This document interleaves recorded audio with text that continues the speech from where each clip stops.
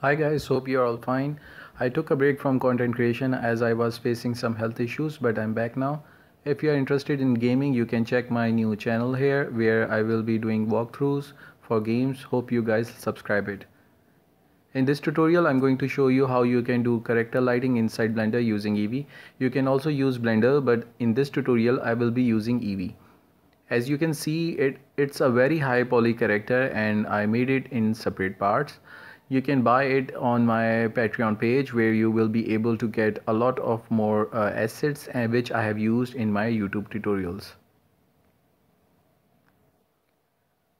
Before starting i just want to let you know about three point lighting which is a traditional method for illuminating a subject in a scene with light source from three distinct positions the three types of light are key light fill light and backlight so here's an example of key light. This is a primary and brightest light source in the three-point lighting setup. It gives a scene its overall exposure. You can use it to create very moody scene with the deep shadows and high contrast. Try to use it on 45 degree and you will get shadows opposite to the side of the subject. Now this is an example of fill light. The fill light is used to fill the shadows that the key light creates, bringing out the details in the darkness. It is less bright light compared to the key light you can also use it as a reflector or bounce card or wall where light coming from the key light bounces back to fill the shadows. Now this is an, an example of backlight, I call it rim light. It's the third source of light that shines the subject from behind and creates outline around the head that separates the subject from the background and gives a sense of depth. If we combine all of these lights, we will get this image.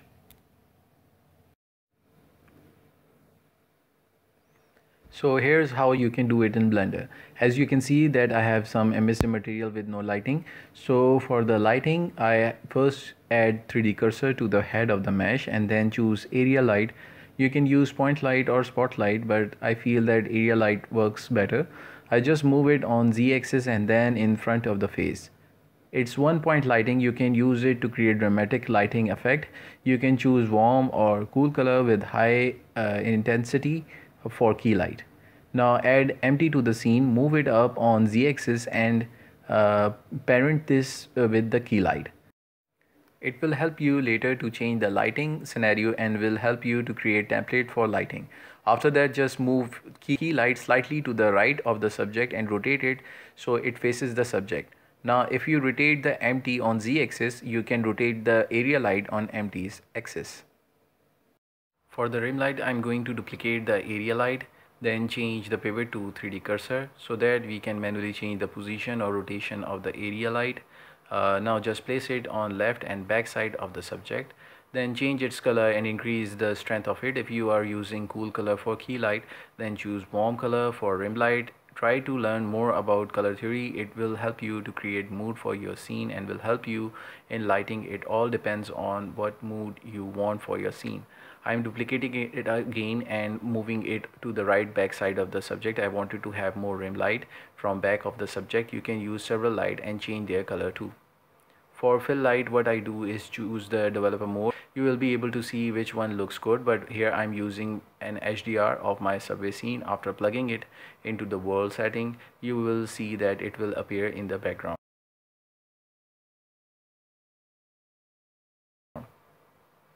To hide the background, add a sphere in scene and scale it up to cover the background.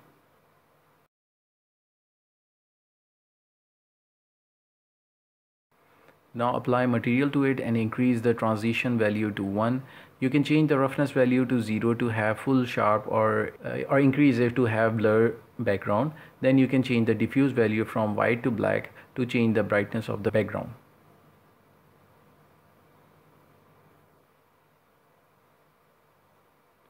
And that's pretty much about it. Hope you guys like it. Like and subscribe to my channel to support me or you can also support on my patreon page where you will be able to get a lot of assets that i have used in my tutorials. Thanks for watching